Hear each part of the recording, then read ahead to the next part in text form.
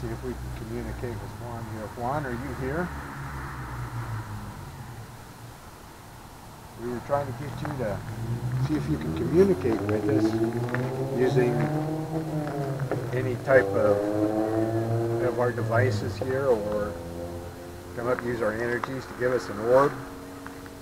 Did you show us anything while you were here?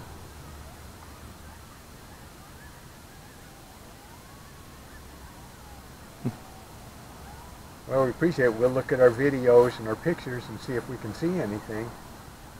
Are you doing well? There was one time that I asked him and he wasn't communicating with me.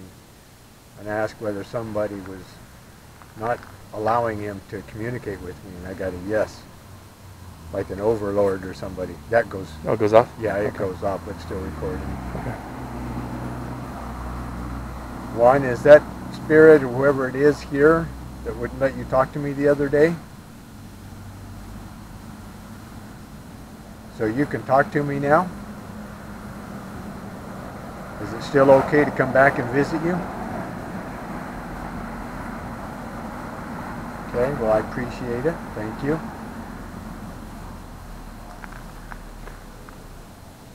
I don't remember how old you were when you died, so we'll ask those questions again. Did you die when you, between 30 and 40 years old?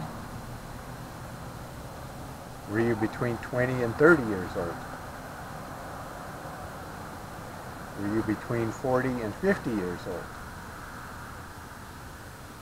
Okay. Were you 41? 42?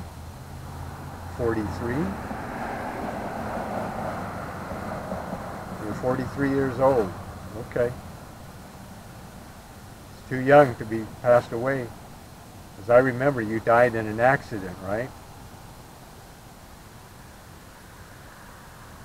Okay, that's too bad. Uh,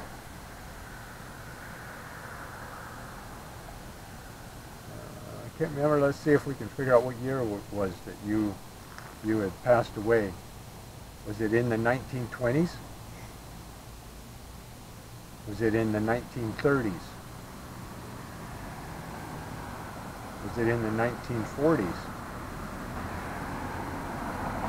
Was it earlier than that?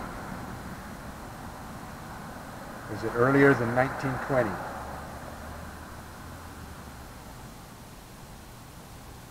Okay.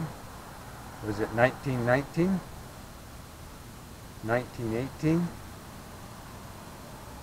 Yes. Okay.